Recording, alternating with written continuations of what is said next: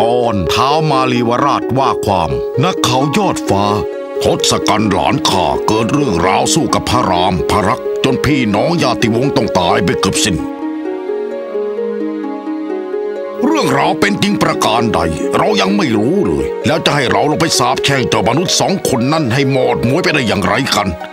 นายเจ้าเล่าเรื่องให้เราฟังก่อนสิ ว่าเจ้ารามเจ้าลักษ์เป็นใครมาจากไหน ขอเดชะ อันว่าพระรามและพระลักษ์นั้น เป็นโอรสของเท้าวทศรถ ซึ่งเป็นหลานของเท้าวอัชบาลแห่งกรุงอโยธยา สาเหตุที่เกิดศึกสงครามขึ้น เพราะวันหนึ่งท่านทศกัณฐ์ได้ประพาสป่า เจอกับหญิงงามนามว่าสีดา เดินหลงป่าอยู่เพียงผู้เดียว จึงนึกเวทนาสงสาร รับเอานางสีดาเข้ามาเลี้ยงดูอยู่ที่ตำหนักสวนขวัญ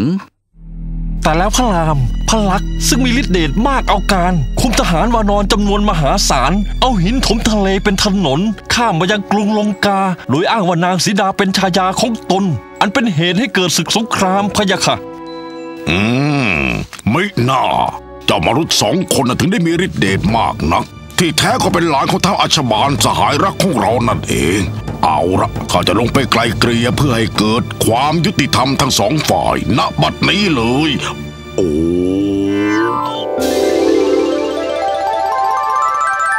เอาละเราขอพำนักอยู่กลางสนามรบระหว่างกรุงลงกากับค่ายพระรามตรงนี้แหละ เจ้าทั้งสองจงไปเชิญทศกัณฐ์ให้มาเข้าเฝ้าเราที่นี่เถิดให้ยาค่ะ โอ้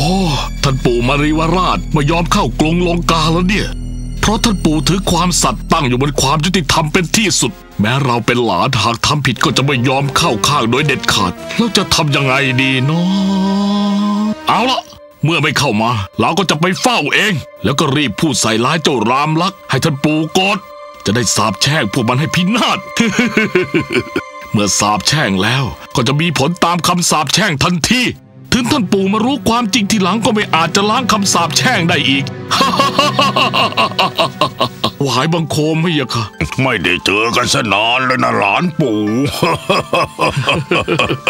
เออ ก่อนที่เราจะให้เจ้าเล่าเรื่องราวต่อไปนั้น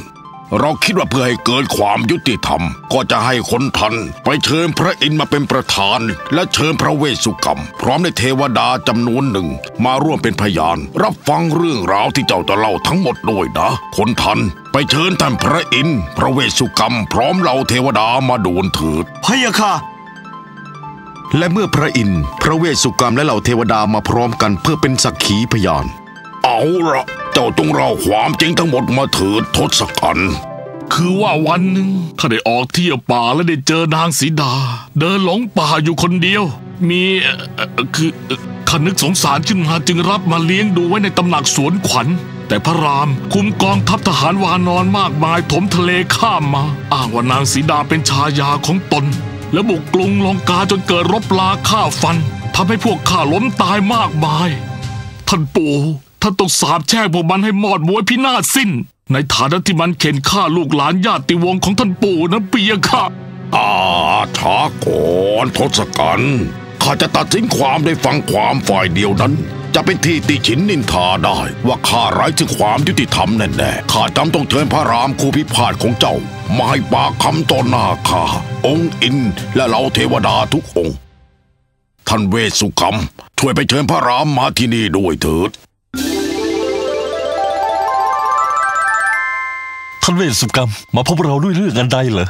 บัดนี้เท้ามาริวราชผู้ที่มีวาจาศักดิ์สิทธิ์ซึ่งเป็นสหายรักกับเท้าอัชบาลท่านปู่ของท่าน ได้ให้เรามาเชิญท่านไปเฝ้า ที่กลางสนามรบ ด้วยว่าทศกัณฐ์ได้กล่าวฟ้องโทษท่านอย่างรุนแรง แต่เท้ามาริวราชยังไม่ปักใจเชื่อ จึงให้เรามาเชิญท่านไปไต่ถามหาความจริง ว่าใครผิดใครถูก ใครพูดจริง ใครพูดปดตนหน้าพระอินทร์และเทวดาที่มาเป็นสักขีพยานในครั้งนี้ด้วย เอาละเราจะไปเข้าเฝ้าเดี๋ยวนี้เลย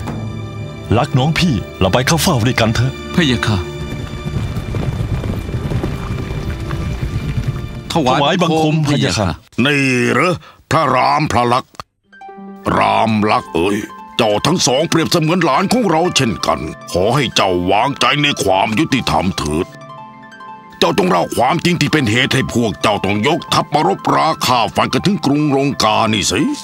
ข้าเคยยกธนูโมลีชนะ ได้พระนางสีดาธิดาเท้าชนกมาเป็นพระชายา แต่เมื่อกลับมาอยู่ที่กรุงอโยธยาได้ไม่นาน ท่านแม่กายเกษีก็ทูลขอบัลลังก์อโยธยาจากท่านพ่อให้พระพรตและยังให้ข้าเข้าป่าออกบวชเป็นนักพรต14 ปี จึงให้กลับเข้าเมืองได้อีกครั้ง โดยมีนางสีดาและพระลักษ์ออกบวชติดตามเข้าป่าด้วย ขณะที่พวกเราถือศีลอยู่ในป่า ก็มีกวางทองปรากฏตัวสีดาอยากได้ จึงให้ข้าไปจับกวางตัวนั้น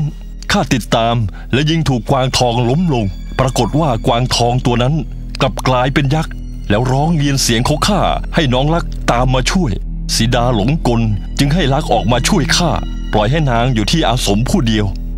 แต่เมื่อข้ากับลักกลับไปที่อาสมก็ไม่พบนางสีดาเสียแล้ว จึงออกตามหาทันที